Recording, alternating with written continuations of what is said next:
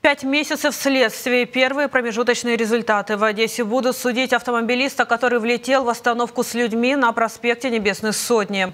Напомню, инцидент произошел 10 ноября прошлого года. И только теперь следствие направило в суд обвинение 49-летнего одессита.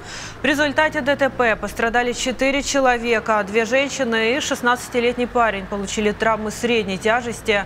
А 15-летняя девочка была госпитализирована с тяжелыми повреждениями. После ДТП автомобилист заявил, что он, уходя от столкновения с БМВ, принял вправо, зацепив бордюр. Из-за этого автомобиль вылетел на остановку. За такое нарушение правил дорожного движения мужчине грозит от 3 до 8 лет заключения.